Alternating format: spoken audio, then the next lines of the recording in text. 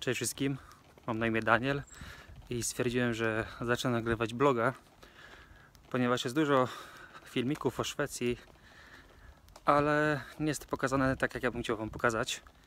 I pokażę Wam Szwecję moimi oczami. A raczej nie będziecie za dużo widzieć mojej twarzy, ja Wam pokażę Szwecję, jaka jest naprawdę.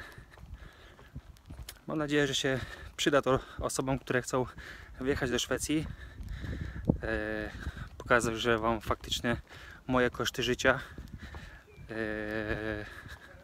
koszty produktów i ogólnie jak Szwecja wygląda. Może Wam pokażę swoją pracę. Więc życzymy jego oglądania. Oh, oh, oh,